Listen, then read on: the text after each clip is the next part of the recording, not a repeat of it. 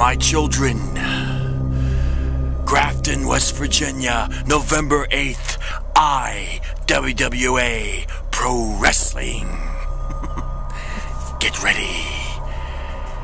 Because Papa is coming back home.